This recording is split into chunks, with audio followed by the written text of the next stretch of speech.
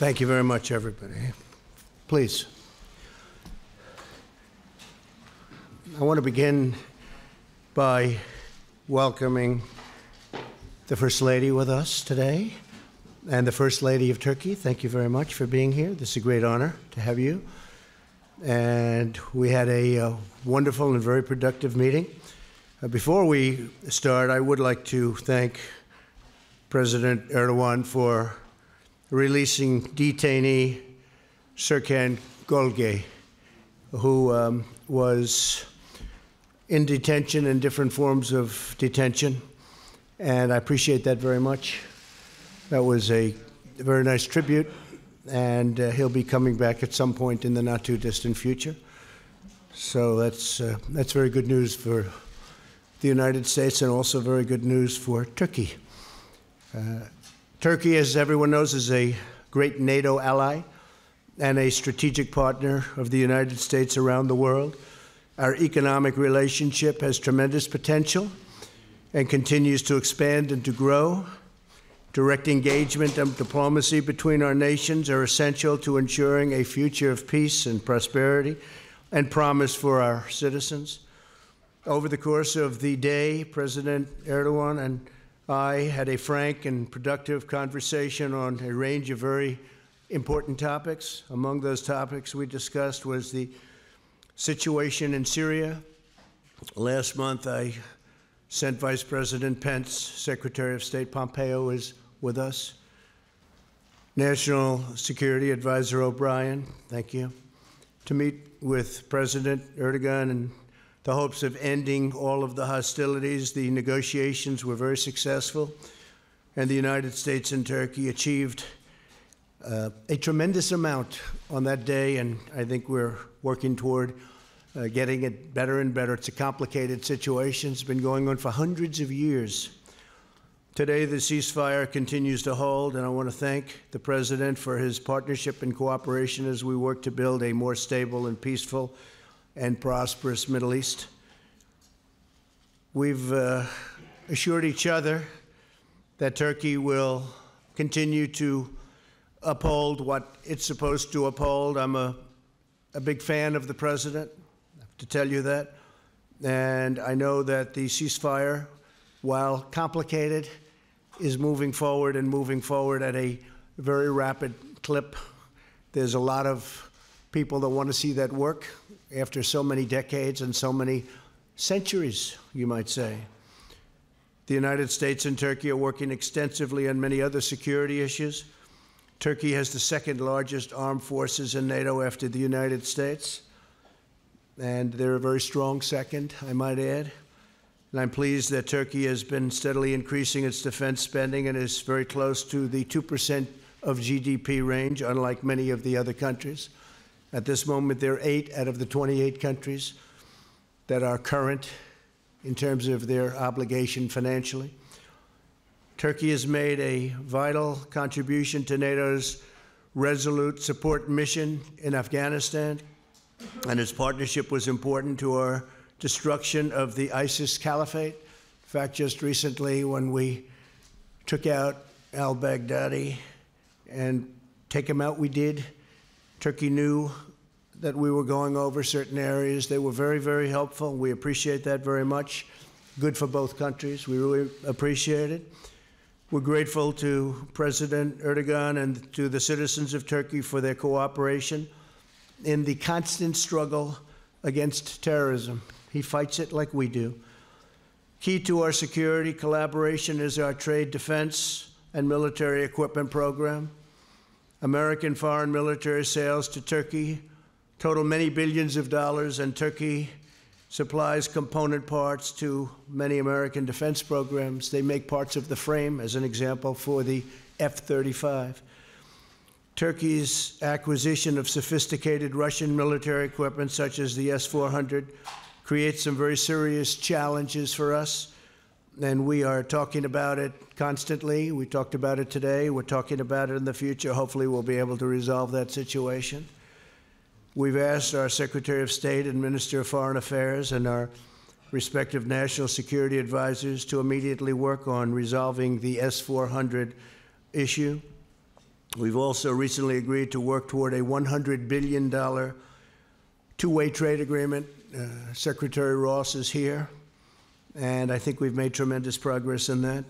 We have a lot of trade with Turkey, but it could be many times larger, and Turkey would like to see that, and it would also be good for the United States. So we intend to bring it up to about $100 billion. That would be four times what it is right now. Our goal is to expand commerce between the United States and Turkey, reduce our trade deficit, and ensure a truly fair and reciprocal relationship. Uh, we are, just for those of you that have any interest, we discussed it today also. Our uh, trade agreement with China is moving along uh, very rapidly. We'll see what happens, but it's moving along rapidly. China wants to make a deal, that I can tell you. One of my chief priorities as president has been removing the barriers to American trade and investment and ending the illicit practices that harm our workers. We encourage Turkey to further open its markets, and they are doing that. They are doing that very much toward American goods and American services. Our markets are open. Turkey is opening up their markets, and they're opening up rapidly.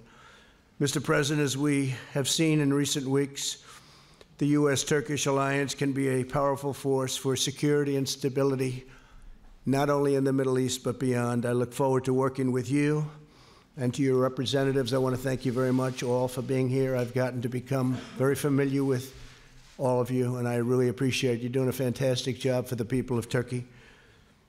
And I look forward to continuing to find a common ground, harness common purpose, and to advance the vital interests of our people and the abiding friendship between our nations. We have a great relationship, both personally and with the great country of Turkey and uh, we look forward to moving that forward and making it an even bigger and better relationship. Thank you very much. Thank you. Thank you.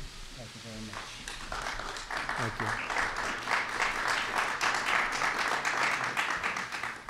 Sayın Başkan, Mr. President, my dear friend, distinguished ministers, secretaries, distinguished, mem distinguished members of the press, I would like to, at the onset, salute you with my most heartfelt emotions on behalf of myself and my nation. First and foremost, I would like to thank my dear friend President Trump and uh, the First Lady of the, of the United States for being such gracious hosts today. We've managed to comprehensively discuss all the issues in our agendas with Mr. President all throughout the day, and the discussions were very sincere. We all agree that we need to further profound our cooperation and that Turkish American relations should be erected upon a strong and a very healthy foundation. I think we should remain resolved in order to open a new chapter in our relations, which are in full compliance with our deeply rooted alliance. konusunda karşılıklı We have reciprocally stated our will to fight terrorist organizations imposing a clear and a present present danger upon our national security. We have especially underlined the significance of fighting against Daesh in a sustained fashion, especially in the aftermath of the demise of Baghdadi, the death of Baghdadi. We have detained several prisoners trying to flee the prisons in Syria and come to Turkey, and we currently have more than 200 Daesh terrorists who have been incarcerated. And with the Operation Peace Spring initiated on October the 9th, Turkey took another step forward in fighting terrorism in a very resolute fashion. Our country, with this operation, blew a very significant impact upon the separatist agenda of terrorist organizations such as PKK and YPG in Syria. yakaladığımızı düşünüyoruz. In order to further strengthen our cooperation in Syria, we believe we have gained a significant momentum with our October 17th agreement or memorandum. But in order to harm this memorandum, PKK and YPG are attacking our soldiers and the civilians in a very provocative fashion. And uh, in the last 24 hours, more than 19 attacks and harassing shots took place. And at the beginning of this month, in Tel a bomb was placed, an explosive device was placed in uh, outdoor market, and as a result of the explosion, 13 civilian lives were lost. Despite all of these developments, in order to settle the conflict in Syria in a sustained fashion, we are re- reiterating our commitment to our memorandum, our agreement with the United States. But some circles who are empathetic towards these terrorist organizations are feeling deeply upset, they are deeply disturbed, and they are using this information in order to cloud the understanding of the public opinion and that, that perception with the eventual gain or goal of harming our relations and some historical developments and allegations are being used in order to dynamite our reciprocal and bilateral relations. Especially in the House of Representatives, some of the resolutions that were passed on October 29th served this very purpose, uh, hurt deeply the Turkish nation, and they have a potential of casting a deep shadow over our bilateral relations. And I shared this information with Mr. President the decision makers in an incident that took place about 104 years ago should not be politicians, but historians. We have nothing to hide, and we have a full self esteem in that regard. But I need to state very clearly that we are, as Turkey, on the side of dialogue and open discussion and debate. And we have voiced our proposals to the Armenian party to open the archives reciprocally and establish a history commission. I believe the Senate will take this take the United States out of this vicious cycle which happened as a result of the resolution of the House of Representatives. Turkey and the United States stand side by side in order to fully eradicate Daesh and in order to bring peace and stability Syria once and for all. And for this purpose, we should keep on working together.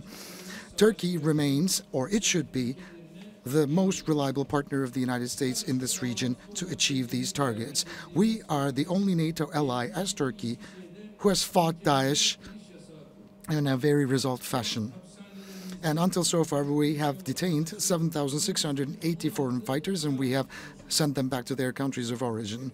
And we have banned entry to 77,000 individuals who are considered to be affiliated with Daesh terrorist organization. Uh, and right now in our prisons, a total of 1,216 Daesh members are incarcerated, coming from 40 different countries. We have quite recently detained 287 individuals, including women and children, who have fled the prisons that PKK and YPG used to control. Our country is being showcased as a target, and this terrorist organization caused 304 Turkish citizens to die, and against which we are going to keep on fighting. And it's very important to understand that the foreign fighters should be accepted by the countries of origin. And we have the same understanding with President Trump in order to convince the countries of origin to do this. Distinguished ladies and gentlemen, we have a borderline of 911 kilometers with Syria. And when the war broke out nine years ago, we were the ones at the forefront impacted heavily, and maybe the most. Currently, we have 3,650,000 Syrian refugees and a total of more than 4 million refugees. And we have spent about $40 billion even beyond that, for these refugees in our country.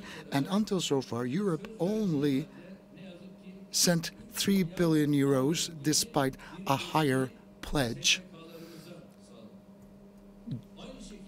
through our NGOs. And similarly, we are providing sustained humanitarian aid to more than 3 million people living on the Syrian territory.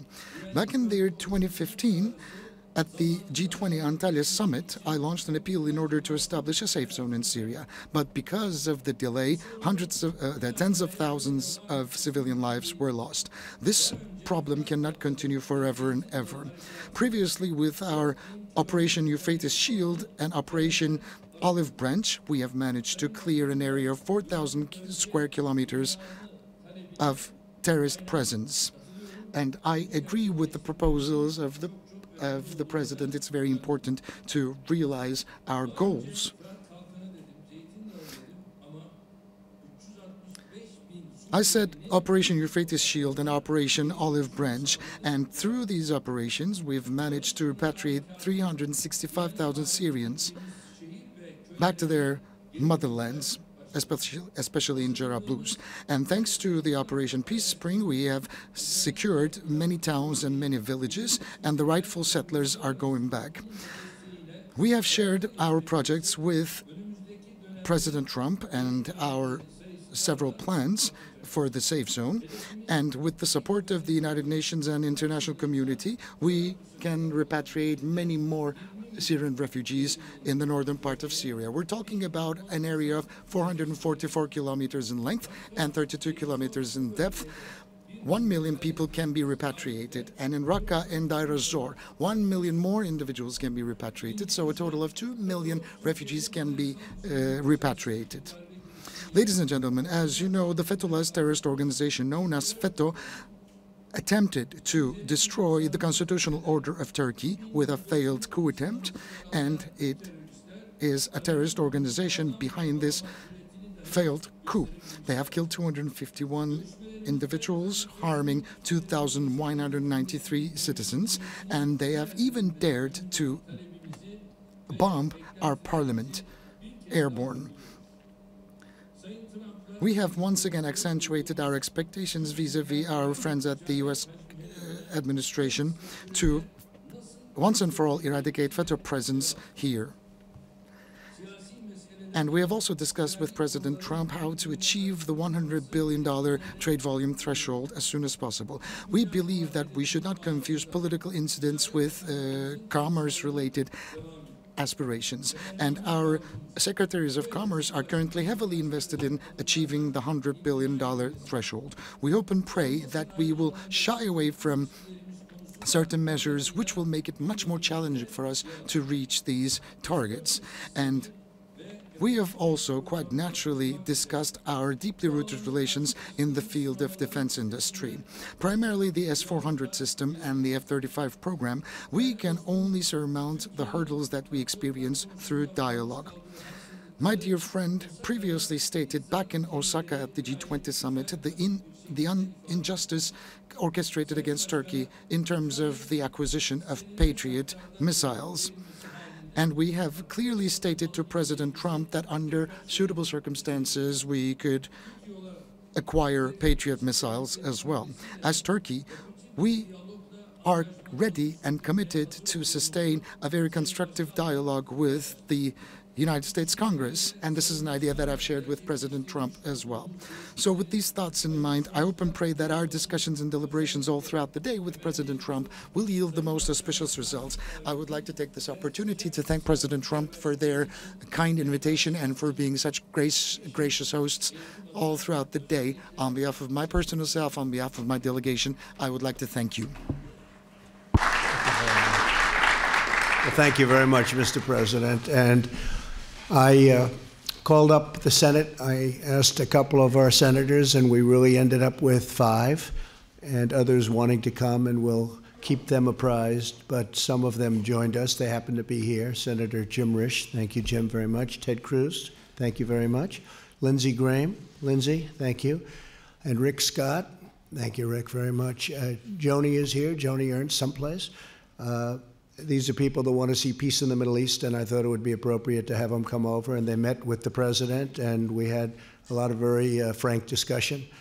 And we're dealing with a very big subject, a complex subject. It's been going on for centuries in many cases, uh, but we're making a lot of progress, tremendous progress in the Middle East.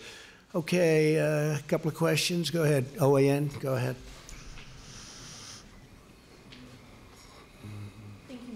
Thank you. Um, first, I'd like to just start out getting your general reaction today to the impeachment hearings on the Hill. Do you feel that Democrats made their case, and how did you feel about the Republican performance? You're talking about the witch hunt? Is that what you mean? Is that what you're talking about? I, I hear it's a joke. I haven't watched. I haven't watched for one minute because I've been with the president, which is much more important as far as I'm concerned. Uh, this is a sham and uh, shouldn't be allowed. It was a uh, situation that was caused by people that shouldn't have allowed it to happen. I want to find out who is the whistleblower, and because the whistleblower gave a lot of very incorrect information, including my call with the president of Ukraine, which was a perfect call and highly appropriate. And he wrote something that was much different than the fact.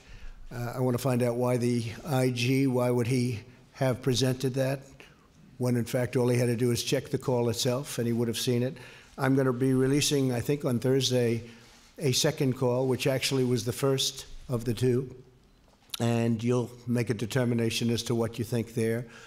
Uh, but I've heard just a report, they said it's uh, all third hand information, nothing direct at all. It can't be direct because I never said it.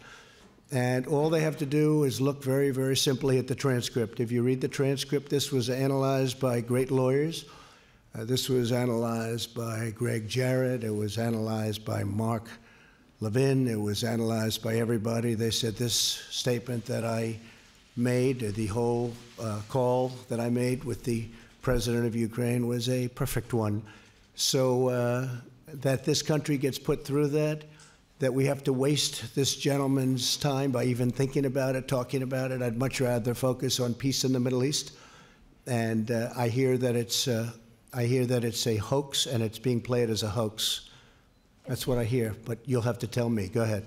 Then, if I may, on Syria and peace in the Middle East, uh, President Erdogan talked about re- repatriating Syrian refugees back to their homeland. Have Yeah. you had those discussions with European le- leaders since there are so many Syrian Well, no, I think that, uh, frankly, Europe should be paying for this to a large extent. As of this moment, uh, Turkey's been paying for most of it. I think the president was saying today they've spent over $40 billion on uh, the cost of that. 40 billion. How much? 30 Oh. milyar. 40. That's what I said. Whatever. He spent a lot. Okay. They give it. They're throwing out all these different numbers. I heard it was 40 billion dollars. How was that? 40 billion, correct? So 40 billion dollars, and I've heard that number from others, and that's a lot. Uh, Europe has contributed about three, uh, and uh, a lot of these people would go all throughout Europe. I mean, it would be a, a devastating situation for Europe because he's got four million people. He has a lot of Kurds too that they're helping and taking care of. So uh, I, I, I have spoken to Europe about it. I think they should help us with ISIS because many of them left France and they left Germany and they left UK. They left different countries. And these countries should help us because if they ever did get released, which we won't be doing, but if they ever did get released, that's where they want to go. They want to go back to France and Germany and UK and all of those other countries that are not helping us. Uh, I gave them the option would you like to have them back? And intelligently, they said, no, thank you. But that's not right and it's not fair. Uh, I can tell you also that Turkey captured uh, when they, some, some escaped during the conflict, when they had the heavy shooting. And I mean, I think I know how they happened to escape, but it's one of those things. Doesn't matter because uh, Turkey captured everybody that escaped plus an additional group. When we took over, when I became president, ISIS was rampant all over the Middle East. And as of about a month ago, I think, Lindsey, we can say that we uh, have now 100% of the caliphate. And they'll always try and grow, but they haven't been able to do that. And uh, what we did last week with al Baghdadi, who is the uh, absolute founder, leader, uh, set them back. We also got his number two, and we have our sights on his number three. So they're not going to be growing too fast. But I will say Turkey's been helping us a lot. So with that, I also have a question for President Erdogan. With the, what you're calling a realignment along the northern Syria border, a lot of Christians in that region are feeling very vulnerable. Groups on the ground are saying that attacks on Christians have increased under this new policy and that they're not feeling safe any longer. Can you guarantee that the Turkish government will also protect Christians in that region? In fact, there was an attack on an Armenian priest who died, he and his father, this week. ISIS is claiming responsibility. Çok teşekkür. Thank you. Thank you. On the contrary, Kaldani, Yazidi, and Christian minorities is an area where we're especially sensitive about, and we have certain different plans. Whether it be the ones remaining on the side of Syria, whose sanctuaries have been destroyed, whose, whose churches had been destroyed, will see their sanctuaries getting revived and their churches will be reconstructed so that they can go back and start praying there again. And these are the plans that we're making for them.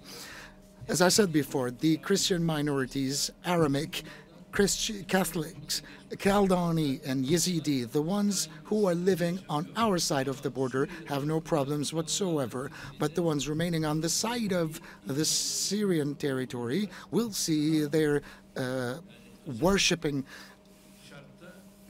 practices restored and revived in a special manner. They are receiving health care, they're receiving humanitarian aid in every aspect possible. Thank you. Thank you very much. Uh, Would you like to pick somebody? Evet. Hilal Hanım buyur. A friendly person from Turkey, please. Friendly. Only friendly reporters. We like to see. There aren't too many of them around. Thank you, Mr. President. Thank you. Uh, you inherited the burden of uh, Obama's flawed foreign policy, and one of those flaws was uh, allying the U.S. with the U.S. designated terrorist organization, the PKK, and its Syrian offshoot YPG. Uh, you are trying to mend the damage that it did to U.S.-Turkey relations. However, you also invited the uh, ringleader of YPG to the White House. His code name Mazlum Kobane, and he is responsible for at least 18 terrorist attacks in Turkey, uh, which caused the death of 164 soldiers and 48 civilians. So, after today's meeting, do you still think of uh, inviting to him to the White House, which will be very offensive and hurtful for the Turkish public? Thank you. Well, I had a very good talk with him. We had a very good uh, recently. And uh, we're working very closely together, and we're also working very closely together with your great president. And a lot of things are happening. A lot of very positive developments are happening. Uh, a lot of that is definition. What's your definition of the various groups within the Kurds? You call the Kurds, and then you have various groups, and some like them and some don't. But I think we've made a tremendous uh, amount of, we've gained a tremendous amount of momentum and strength and, and knowledge over the last short period of time. So we'll see what happens. But I will say that uh, the relationship with, with President Erdogan and Turkey has been outstanding. And, you know, it's a major country with a tremendous military. Uh, they're one of our very big purchases of military equipment. They have the finest equipment in the world which the United States makes. We make by far the best equipment in the world. Turkey understood that a long time ago. So uh, I think a, a, tremendous amount of progress is being made. Okay? Thank you very much. You could ask the president a question now. Same report. You sure you're a reporter? You don't work for Turkey with that question? Me, okay. I, I'll be glad to. Uh, Sayın Cumhurbaşkanım, e, özellikle e, FETÖ mevzusunda Mr. President, about FETÖ, we are not getting the best of news out of the United States. And the FETÖ office targeting Turkey is extensively invested in their daily works. But I can see certain traces that the US government is ready to understand more about FETÖ. So my question is, how do you perceive the situation developing vis-a-vis uh, the Fethullahist terrorist organization and the American approach to FETÖ in that regard? Can we expect anything further? Yes, thank you. During this current visit, we are going to submit, as we already have actually, a great deal of documents and evidence. And FETÖ is a terrorist organization, and he is the leader, the ringleader of this terrorist organization. They have killed 251 people in Turkey. They tried to undertake a coup against the government, the state, and more than 1,000, more than 2,000 people have been injured, and the ringleader is living on an area of 400 acres in the United States, running his network all around the globe. And this is something unacceptable. And during this visit, as I've said before, we have introduced an additional array of documents. We will submit them to the relevant authorities, including Mr. President. And in the light of these documents, I think they will appreciate the situation. We we sent the terrorists back if they ask for them, and I'm sure they will do the same for us. Fox, please. Thank you, Mr. President. Thank Uh, you. I know that you didn't spend a lot of time uh, glued to the TV today, but there was one moment where uh, Ambassador Bill Taylor recounted a conversation that uh, an aide of his overheard. It was the day after the phone call with Zelensky on July the 26th, in which the aide says that he overheard you say to Sondland, um, "How are things going with the proceeding with the investigations?" Sondland uh, repeated back to you, according to this aide, uh, that uh, Ukraine was prepared to do uh, everything that you wanted it to do. Can, was that, is that correct? And can you fill in some more? I know nothing about that. First time I've heard it. The one thing I've seen that Sondland said was that uh, he did speak to me for a brief moment, and I said no quid pro quo under any circumstances, and that's true. The other, I've never heard this. In any event, it's more secondhand information, but I've never heard it. Do you recall having a conversation with? I don't recall. No, not at all. Not even a little bit. Uh, uh, the only thing, uh, and I guess uh, Sondland had stayed with his testimony that there was no quid pro quo. Pure and simple. Yes, please. And to President Erdogan, uh, President Trump sent you a, a letter on October the 9th urging you not to launch a military action into northern Syria. He said, uh, quote, don't be a tough guy, don't be a fool. Uh, you ignored that letter and you went ahead and you launched a military action into northern Syria. Can you explain why you ignored the president's warning? Tabii bu mektupları Well, this letter was represented to Mr. President this afternoon, and I've also underlined the fact that a terrorist such as Ferit Abd Shaheen should not be considered as an interlocutor by a country such as the United States. And this individual, Ferit Abd Shaheen, has been instrumental in the killings of hundreds of Turkish civilians, and he is a person labeled as like a son for the terrorist leader who is currently incarcerated in Turkey, Abdullah Öcalan. So a person like this should not be welcomed by a country such as the United States. And similarly, this person was welcomed by a country such as Russia. So it's very difficult for me to understand these when we're trying to fight terrorism on a global scale. If we're going to sustain our fight against terrorism in a healthy fashion, we need to be much more sensitive than we currently are. It happens to us today, and it will happen to somebody else tomorrow, is a saying that goes in our language. We have also provided information and the document thereof to our interlocutors in the White House, including pr- Mr. President. And I've also submitted a document produced by CIA pointing out to the fact that this individual is a terrorist to Mr. President. And as I've said before, I've shared them with His Excellency Mr. President. And we gave back the letter that we have received.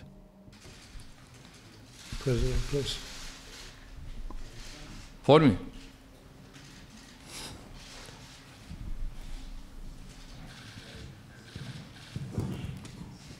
Thank you very much, Mr. Kurd from Kurdistan. Thank you very much, Mr. President, for all you have done for Kurdistan and for Peshmerga in fight against ISIS. Yep. Thank you very much. I appreciate that. My question is, all senators I meet, all of them, I interviewed them, they believe Kurdistan is very unique in the Middle East and protect all minorities. Right. What is your clear policy on the Kurds right now? And another question for President Erdogan, why you are not able for negotiation with the Kurds in Syria as Iraqi Kurdistan? Do you think they will be your friends in future? Thank you very much. Thank you very much, Mr. Well, thank you very much. And I will say that we've had a great relationship with the Kurds, and we fought with them very successfully against ISIS. We fought together. We had, uh, we have great generals and we have great equipment, and it certainly helped a lot. but we were very, very successful, and we uh, captured, as I said before, 100%. I was going to, when we were at 97%, I was going to say, well, that sounds pretty high to me. And I was thinking about stopping it then, and a lot of people said, please go to 100. And uh, very quickly, very rapidly, the military got the 100. I wanted to have that. But uh, we have a great relationship with the Kurds. We have had. Uh, we're with them now. We get along with them. And by the way, I think the president, uh, he may have some factions within the Kurds, but I think the president has a great relationship with the Kurds. Many Kurds live currently in Turkey, and they're happy and they're taken care of, including health care. We were talking about it before, including health care and education and other things. So that's really a misnomer. But our relationship with the Kurds has been a very good one. Okay? Thank you. Öncelikle bir şeyi birbirinden ayırt. First, we have to make a distinction between two things. We have no problems with the Kurds. We have problems with terrorist organizations. Some terrorists coming out of the Kurds. Which, which are they? What are they? PYD and YPG, which are offshoots of the terrorist organization PKK. Just as we have no problems with our brothers and sisters in the northern part of Iraq, where we enjoy great relations, and we have no problems with, similarly, our brothers and sisters in the northern part of Syria. During the times when Assad was not recognizing the Kurdish presence in the northern part, I told him that he needs to give these individuals passports and that he was uh, making a mistake. And secondly, there's something really important. I want you to know this. My political party has more than 50 MPs of Kurdish ethnicity in the Turkish parliament. We don't have problems with the Kurds, but we have problems with the terrorists. And of course, you're not going to own up to the terrorists, are you? Whoever they are, whoever they might be, but we, might, we have to make a distinction here. We're just fighting terrorists, period because the terrorists don't have an ethnicity, they don't have a nationality, they don't have a flag. If they are terrorists, that is a terrorist. If you don't fight back, then tomorrow you will have to pay a very hefty price. Thank you. Thank you very much, everybody. Thank you. Thank you.